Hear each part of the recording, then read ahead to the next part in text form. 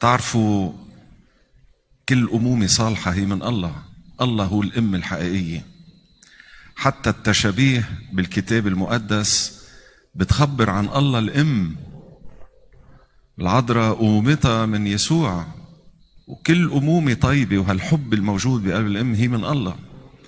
مشان هيك لما رجع الابن الشاطر لعند بيو تعرفوا كلمة بيقول تحركت أحشاؤه. تحركت أحشاء الله. مين بيتحرك الحشا عنده؟ الأم بس بدها تولد.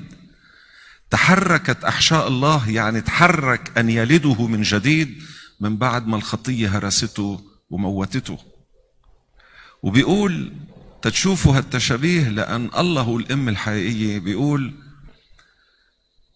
إن نسيت المرضعة مرضعها. إذا أم عم تطعمي ابنها وترضعه. إذا مع إنه هاي ما بتصير ولا ممكن. بس إذا الأم نسيت مرضعة أما أنا فلن أنساكم. يعني تأملوا أمومة الله لإلنا وحبه هالتشابيه اللي بيعطينا إياها. من هون نحن بنشكر الرب يلي هالحب اللي معنا إياه على الأرض ويلي بننعم فيه لأن حب الأم هو حب مجاني بامتياز. ما عنده اي أي صفة الأنانية. محرر من الأنانية حب حقيقي. بنشكر ربنا إنه أعطانا إم على الأرض وبصلاتنا الليتورجيه المارونية بنقول بفترة الميلاد السماء عندها كل شيء بس ما كان عندها إم. نزل الله على الأرض أخذ إم من الأرض وطلعها على السماء ودعاها إم الله. شو هالتشبيه الحلو؟ يعني حتى الله عباله يتنعم باللي نحن بنتنعم فيه اسمه حنان الأم كانت العذراء مريم. الليلة أحبائي بدي أتأمل أنا وياكم هالأسبوع هو أسبوع المخلع وبدنا نتأمل بالمعاني تبعهم لأنه تعرفوا الإنجيل والليتورجيا بزمنها لازم دايما ناخد زوادي. ما نطلع بس إنه سمعنا الإنجيل أو زهقنا من وعظة الأبونا. دايما نبشوا على كلمة الله تاخدوا زوادي منها وهي الزوادي بتكون على مدى أسبوعكم. لأن الكنيسة كل أسبوع على الزمن الليتورجي كله بمدار السنة بتزودنا بغذاء روحي حتى نقدر نواجه أحداث الحياة. بخبروا بمطرح بنص آخر من الإنجيل كمان عن شفاء مخلع غير المخلع اللي بخبر عنه هالإنجيل اللي سمعتوه. كان في بركة اسمها بركة الغنم. وهالبركة كانوا على مدخل رواق سليمان على مدخل الهيكل. كانوا يكبوا فيها الغنم يغسلوها تيفوتوا يقدموها ذبيحة. وكانت الذبيحة قديما مغفرة الخطايا يذبحوا الخروف ياخدوا من دمه يقولوا خطاياهم أمام هيكل الرب ويرشوا من هالدم على راسهم وكانت هيك تغفر الخطايا. وما ياكلوا الخروف يكبوه بوادي اسمه وادي يوشفاط أو وادي قدرون. وهي الوادي قد ما كب فيها ذبائح كانت تضل النار طالعة فيها وكان دايما هالخواريف اللي يكبوها تدود. منا أخذ يسوع المثل تبع جهنم حيث نارهم لا تطفأ ودودهم لا يموت. أخذ المثل من هالوادي. هيدي الذبائح كلها اللي كانت تتقدم كان يغسلوا الخروف تيكون طاهر نظيف نقي تحتى يقدر بدمه يغفر الخطايا. كان يتجمع حوالي هالبركة كل الكسح والعميان والمخلعين والأصحاب الأمراض والأسقام وكان الملاك ينزل كل شهر يرف الماء بهالبركة وكان أول واحد يكب حاله فيها كان يشفى. ولكن هالبركة هالقد الملاك ينزل عليها وكانت ميتها مقدسة تشفي المرضى. لأن لما لقطوا يسوع على جبل الزيتون ربطوه وصاروا هيدي الخبرية من وراء قديسة ماريا داجريدا يلي بتخبرها العذراء كل مشاهد ألام يسوع بتفرجيها إياها بالرؤية بالعين المجردة. نزلوا يسوع بخبيط من جبل صهيون من جبل الزيتون لما لقطوه وكانوا مربطين له اجراه بجنزير أنجأ يقدر يفشخ. وكان عم ياكل قتل من فوق تجيبوه قدام قيافة يحاكموا بالهيكل. بس وصل قدام هالبركة أحد الجنود بيلقط جنزير وبيجي يسافقوا فيه على إجريه بلف الجنزير على إجريه وبطير يسوع بالهواء وبيجي واقع بهالبركة. وبتقول ماريا داجريدا شافت بهاي اللحظة كل خواريف بيت لحم معقت وقالوا هيدا هو الحمل الحقيقي يلي بده يندبح فداء. نحن كنا صورة كنا رمز بالعهد القديم. هيدا هو الحمل. كان الله الآب الظاهر شايف بهالبركة ابنه يوم من الأيام بده يوقع. ومن بعد ما يتغسل فيها فايت على الذبح تتندفع حق خطاياكم خلى هالماي وهالبركة تكون هالقد غالية على قلبه. وصار كل شهر يبعث الملاك من السماء ترف الماي وكان اللي ينزل فيها يشفى. على هالضفاف البركة كان في مخلع له 38 سنة قاعد هونيك. إجا صوبه يسوع وقديش كان في أسق ومرضى ومخلعين ما إجا إلا لعنده حكمته ما بعرف ليه. سألوا قالوا بدك تشفى؟ وبلش الندب. وهيدي حالتنا نحن أوقات بنصلي ندب. ما حدا بيلتفت فيي ما حدا بي... الله ما بيرد علي وبصلي الله ما بيستجيب. ما تندب مع الله. علوم موقف شو بدك منه؟ لما بتصلي صارح الرب برغبات قلبك بحب يسمعك الرب. ما تعمل مناحة معه. قال له إلي 38 سنة هون كل ما بينزل الملاك برف الماء بينزل حدا قبلي ما حدا بينزلني على الماء قال له سألتك بدك تشفى؟ قم احمل سريرك وامشي.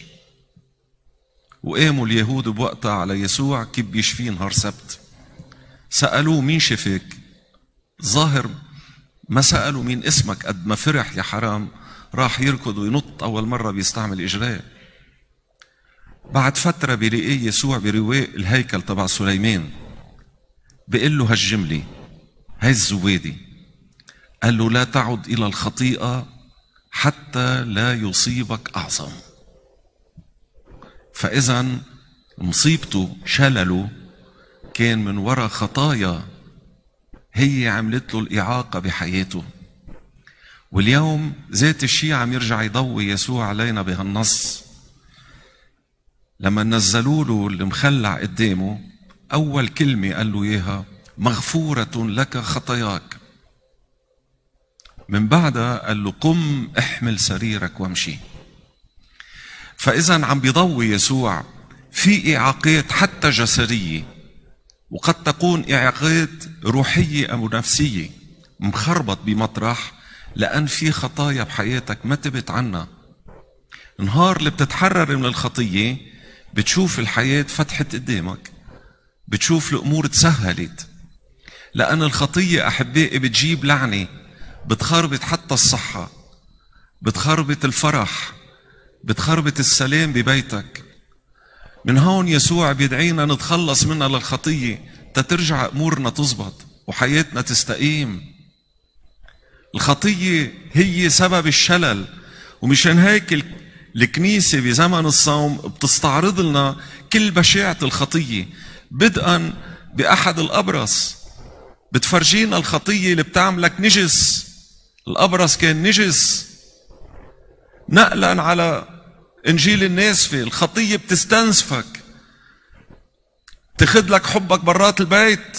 تخرب لك عائلتك. الخطية بتجرك على مطرح. بتصير الرجعة منها صعبة. خاصة اللي بفوتوا بالإدمان على القمار على الزنا على الشرب على المخدرات. بتحس عم تستنسفك عم تقتلك ومش قادر توقفها. هاي الناسفة مع الابن الشاطر بتفرجينا الخطية بتحقرك بتنزلك من كرامتك كابن الله وبتخليك أدنى من خنزير. هيك بيوصفوا الإنجيل. وبصير غريب متسلط عليك وهو يرسلك. الأرسله غريب. من يرسل؟ الله الذي يرسل. بس لما بيغيب الله الشيطان بصير متحكم فيك وبحقرك بشلحك الملوكية. واليوم مع المخلع عم بفرجينا الرب الخطية التي تشل. في ناس بيشوفوا ما بيعرفوا يقروا الأحداث بحسوا تعب كتير بحياتهم شغل كتير ومداخيل كتيرة. لكن المردود قليل. ما منتهنى من اللي منتعب فيه. وبتحس تتعب بتتعب وكأنك حاطط بامور. بتضلك بمطرحك. ما بتحس الدنيا عم تروح فيها لقدام هيدا الشلل تبعها وجمعة الجاي رح تشوفوا الوجه الآخر للخطية التي تعمي. في ناس ببطلوا يشوفوا خيرهم في ناس بيبقوا عم بيدمروا بيتهم عم بيدمروا عائلتهم بتيجي بتقلهم يا عمي شو عم تعمل؟ شو فهمك؟ بطل يشوف. ما بيشوف إلا لا ملذاته. بينعمى. بصير يدافع عن الشر اللي عم يعمله ويقاوم الخير. تعمل خطية. من هون بيقول يسوع أعطيوا عيونا ليروا فلم يروا أذانا ليسمعوا فلم يسمعوا. هيدي كل مشاكلها لهالخطية وكل نتائجها أخذها يسوع. ومن هون جمعة الألام هي النهاية. وعلى الصليب شرب المرارة. طبع خطايانا. لما قال أنا عطشان شربته البشرية خل مر مدق. حولوا بقلبه إلى خمرة طيبة اسمها خمرة القداس وسلمنا حتى نشرب منها الخمرة وناكل من هالجسد حتى نرجع نبرأ من داء الخطية. ونرجع أشخاص ذات قيمة. يرجع لنا الملوكية. نستحق بقوة موت يسوع قيامته بقوة الاعتراف. نستحق أن ندعى من جديد أبناء الله. ترجع ابن الله. بيرجع الله بي ترجع أنت ابنه. هيدي قصتنا مع الرب. وهيدي هي مسيرة الصوم. مش بس انقطعت عن أكل. لكن تحررت بقوة هالصوم من كل البشاعة اللي عملته في الخطية. بدنا نصلي أحبائي حتى للرب يرجع يمدنا بالسلطان يلي كنا نتمتع فيه قبل ما الخطية اشتغلت شغلة فينا. نتمتع فيه لهالسلطان حتى لي فعلا نستحق من جديد أن ندعى أبناء الله. نستحق. مش لقب هيك عابر. تعرف شو يعني نهار اللي بيرجع لك سلطان ابن الله. كلمتك بهالدنيا ما بتصير اثنين. كلمتك ما بتصير اثنين. أنا متأثر كثير بسور فسطين بحياتها.